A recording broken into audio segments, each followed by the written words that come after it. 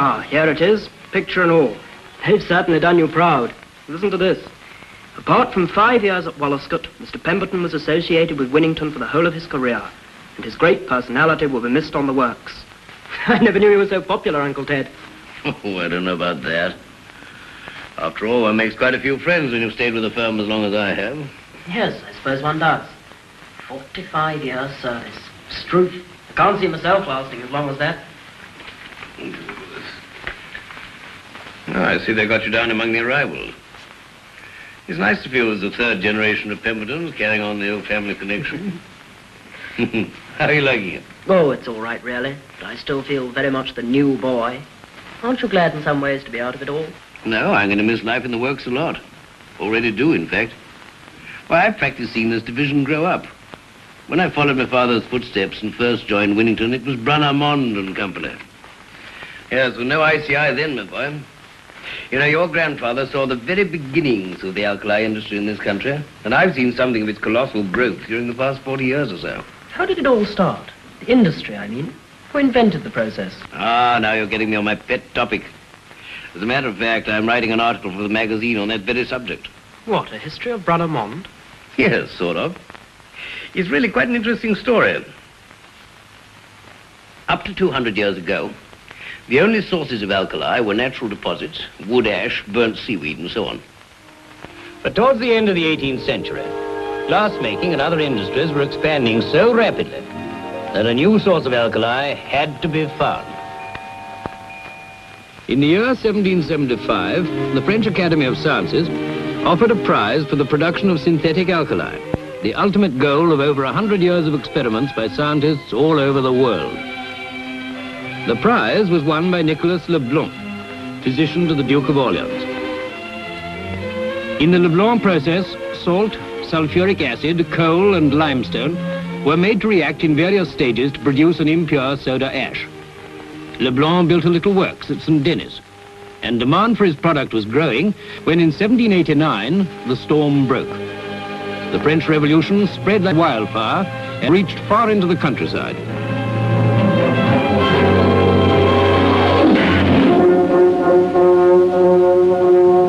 Process made little headway for 40 years, until over here, the Industrial Revolution built up a demand for cheaper alkalis, and the production of Leblanc alkali grew apace along the banks of the Tyne and by the Mersey over at Widnes. But the Leblanc process was making the countryside hideous with ever-mounting dumps of alkali waste, and valuable sulfur, trapped in the waste, only served to poison the atmosphere with stinking acid fumes.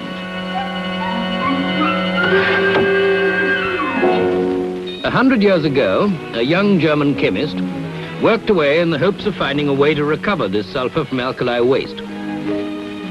His name was Ludwig Mond. Working in the evenings at his uncle's house at Cologne, young Mond was helped by his cousin Frieda Lowenthal.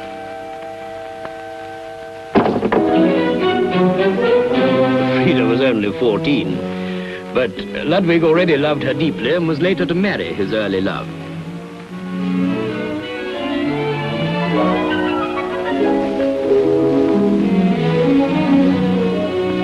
Having perfected his sulfur recovery process and worked it in Holland, Mond came to try his luck in England. And in 1862 introduced his invention to Hutchinson, a leading manufacturer of alkali at Widnes in Lancashire. Hutchinson was at first skeptical, but finally Mond's persuasiveness won him over. Within 10 years, the sulfur recovery process had been adopted by many influential manufacturers. And to its inventor, the process had brought some position and reputation in the chemical world. However, Mond's success was too limited to satisfy him. His inventive mind was always reaching out into the future. Many an evening, after entertaining his friends, one would stay behind. This was John Brunner, Ludwig's great friend and colleague at Hutchinson's. And amid the haze in Ludwig's little parlor, plan after plan was born, talked over and puffed away in cigar smoke.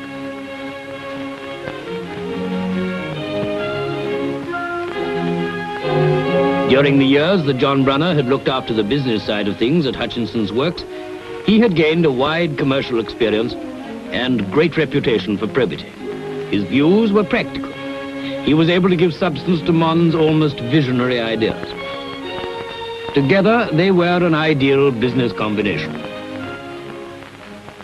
Both men felt cramped by the walls of Hutchinson's works and the town of Widnes. They were tired of being at another's beck and call. Each wanted to be his own boss and answerable only to himself. But neither of them could think of a really satisfactory way of starting up on their own, a way that would give them reasonable profits from the very small capital that they could command.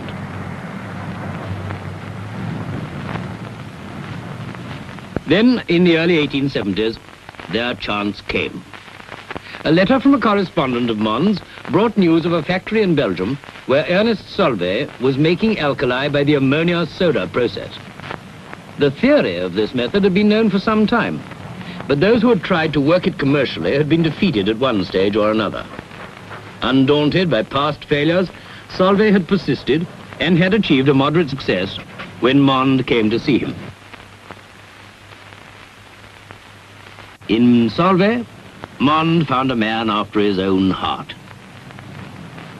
In the few days that he spent inspecting the works at Couillet, Mond saw that some research was still required to perfect the plant. But the advantages of the ammonia soda process over the Leblanc method were only too obvious. No obnoxious waste, and the soda ash produced was without doubt of much finer quality.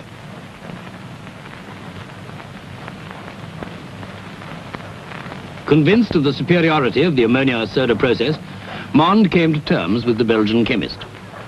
In return for favourable royalties, he obtained a license from Solvay to work the process in England. And so, John Brunner and Ludwig Mond found their long-awaited chance. Now they could launch out on their own, joining in partnership to work Solvay's ammonia soda process, thus laying the foundations of a great industrial enterprise. And so, with characteristic enthusiasm, all their available capital was pooled, plans drawn up and plant ordered almost before the ink on the agreement was dry. I well remember your grandfather telling how Mond and Brunner explored the Cheshire salt fields, looking for a site on which to build their factory. Eventually, their search brought them to Winnington Park, one of Lord Stanley of Alderley's estates lying in the Weaver Valley. This was, in Ludwig's words, the site for their works. The River Weaver was navigable and nearby was the railway, a branch of the Cheshire lines that served the heart of industrial England. Brine they needed was to hand and other raw materials were not far off. There was also a considerable colony of salt works in the neighbourhood, each built on strips of land purchased from Lord Stanley. Some of these works were even clustered in the bend of the river below Anderton, right in the park. After preliminary inquiries, an appointment was made to meet Lord Stanley's solicitor at the long-deserted Winnington Hall. You can guess how they felt as they drove up the long avenue from the lodge gates. My father often heard Ludwig say that the gloom of the place grew thick upon him as they clattered up to the hall. The gilded splendor and gaiety of this fine Regency mansion had long ago faded and tarnished before the steady advance of the squalid ranks of the salt works. But the partners were soon to come up against the first of many difficulties. Their reception at the hall was far from encouraging.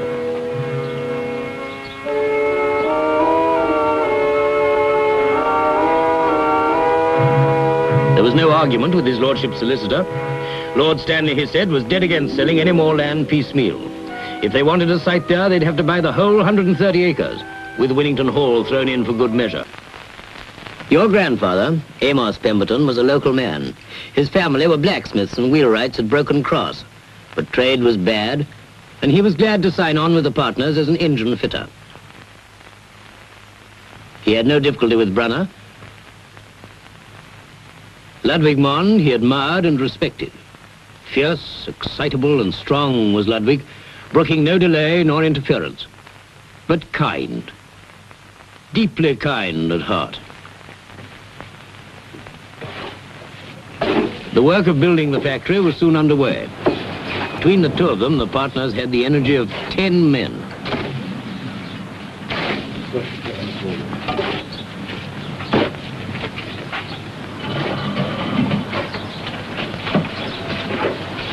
Ludwig wasn't one to suffer fools gladly. And under his and Brunner's direction, the works began to grow, in spite of local grumbling. The partners pressed on with their building. And towards the end of the year, 1873 that was, they started on their first run. That ended soon enough.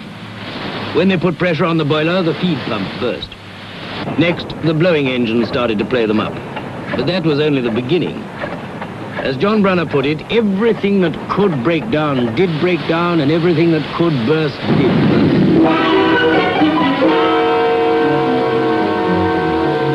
If the men worked hard, the partners worked harder. At night, there was always one of them on duty. Both the partners and their families had moved into Winnington Hall so as to be on the spot. The Monds took the Wyatt wing, and the Brunners the Tudor side of the house and many a time Brunner would work at his books until far into the night. It was just as well that they were near the works, for in those days, as indeed you'll find sometimes now, trouble came suddenly and unexpectedly.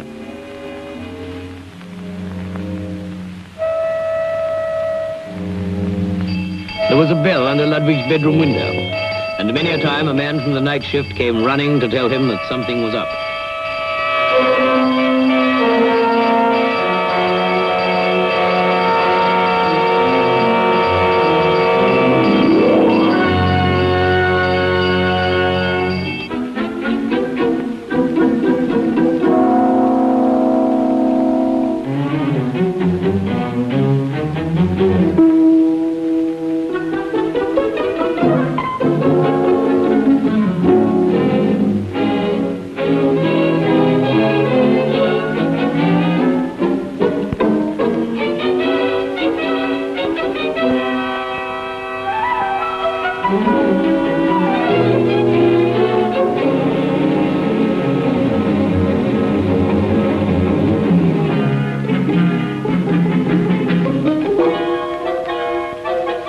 Have been much fun for poor Mrs. Mond in those early days. If it were an accident, she'd go down with Ludwig to give first aid. But fortunately, accidents were few. Time and again, it was a mechanical breakdown that sent Ludwig scurrying off into the night.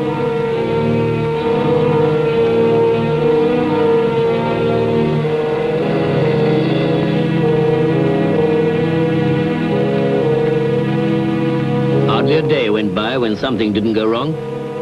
It was a common enough sight to see old Adam Clark go chasing off to Northwich Post Office with a telegram for engine replacements. Telephones, of course, didn't reach Cheshire until the late 80s.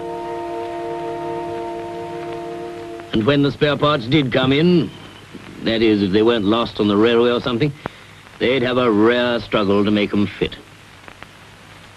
Old Betty, as the blowing engine was politely referred to, was always giving them trouble. As the months went by, they practically replaced every working part. But while they were doing this, not a penny piece was coming in, for precious little ash was going out.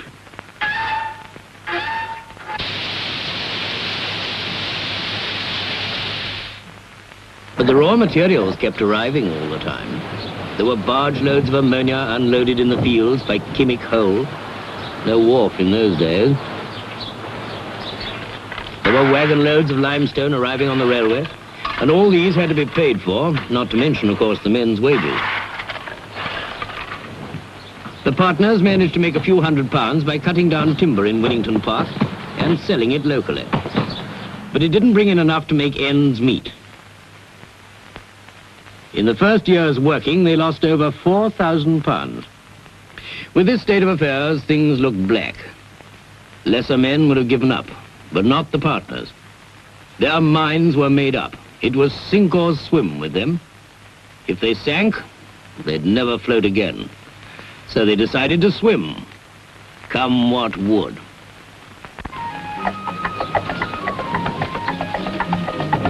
They started a crusade. They canvassed high and they canvassed low for funds, trying to get people to take shares in the business or at least to accept shares in payment of their bills.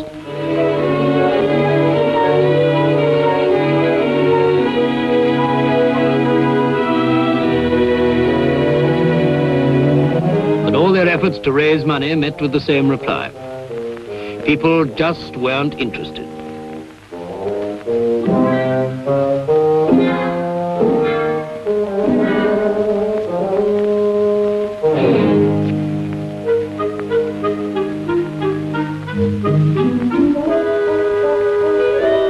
Some of the local tradespeople helped, but the most frequent results of their visits was a firm rebuff, sometimes polite,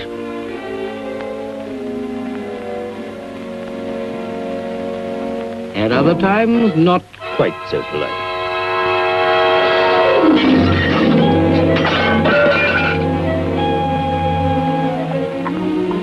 The future indeed began to look pretty hopeless.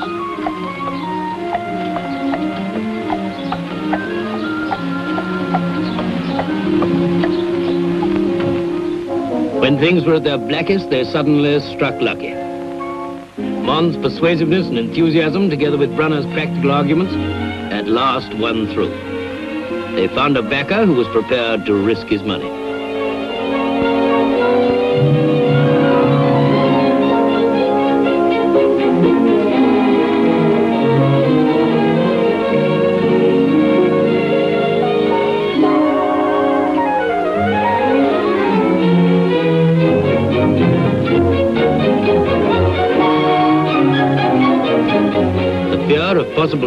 Which had hung so heavily over them during those dark days was all at once removed by the timely offer of a substantial check.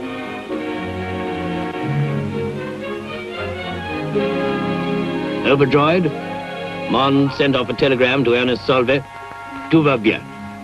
All goes well. And within a month or so, the works were once again in full production, turning out soda ash the like of which, in Ludwig's words, had never been seen anywhere else in the world. In 1876, their soda ash received a special award in America. And in 1881, the formation of a limited company assured their capital and set the seal on their success. Once the ammonia soda process began, in Mond's hands to show promise, a number of rival plants sprang up. But the process wasn't as easy as it appeared on paper, and one after another, the rival works failed. Brunner, Mond and Company took them over, and soon had works at Sandbach, Port Clarence, Middlewich and Lostock. Mond quickly got them into economic production. Then Ludwig turned his attention to other industrial processes, such as the Mond nickel process. For his valuable contributions to industry, Mond was made a Fellow of the Royal Society.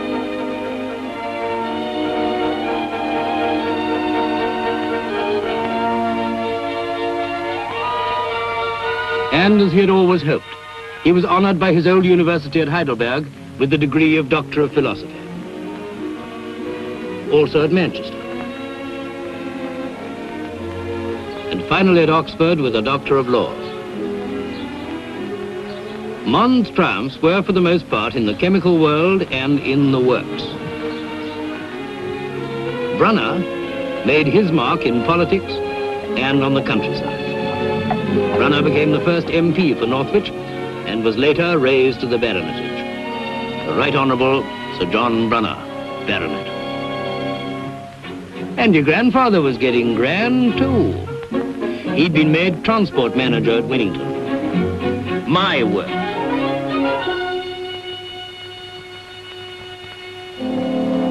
On the firm's 25th birthday, they decided to celebrate.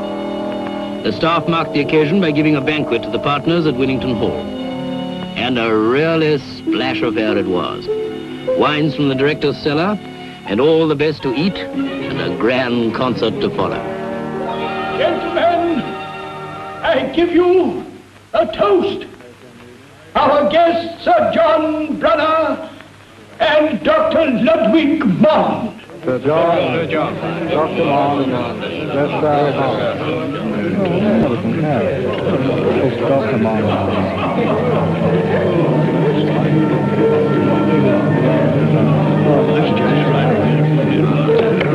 I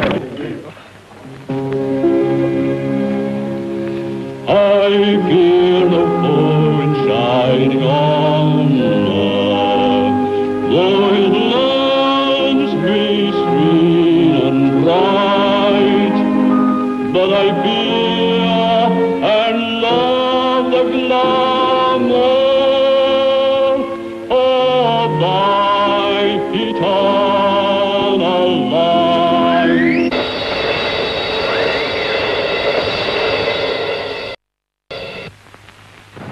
Well, that's the story of how it all started and who started it. The urge to expand and to keep ahead of our markets still drives us on. But even with this continual growth, the standards which the partners set by their industry and learning are maintained.